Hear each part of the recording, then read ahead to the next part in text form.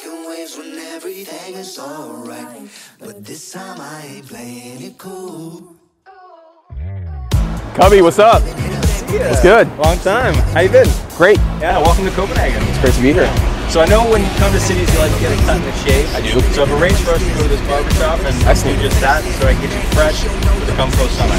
Let's get it. You ready? Let's do it. The same shit. Looking back, I know the course was wrong, but at the time I had to kick it like for the long. I mean, I should have resisted, but the I don't want you to give away too much of your talk, but what what do you see as the future of social media?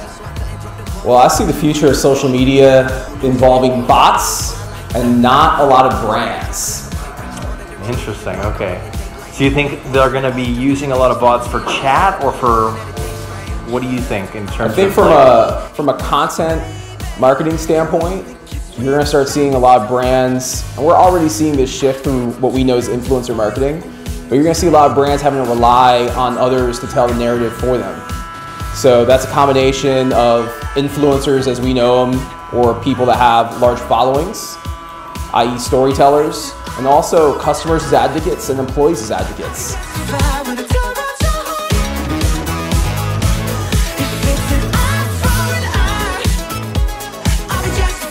Well, I'll tell you what, Kubby, I'm excited to be here in Copenhagen. It's my first time visiting Denmark, and uh, I'm just honored to be out here at the Komfo Summit. I'm looking forward to meeting all the fine folks here in attendance, looking forward to meeting some fellow marketers, and really building some new relationships.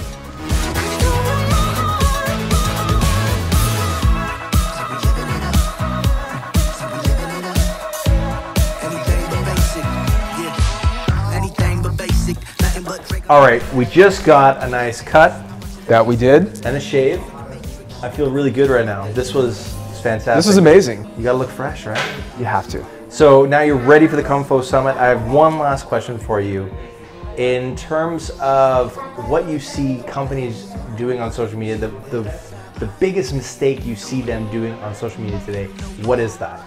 I'd say that companies aren't doing a good enough job of storytelling. What they're doing is they're marketing, and people don't want to be marketed to, people don't want to be sold to. They really want to be engaged. Right. And that's what we're going to talk about at Komfo Summit is how to engage your audience through storytelling. Great. I'm really looking forward to it. Thanks a lot for this time. Thanks for your time. Take care. See you on stage. See you there. And see you there.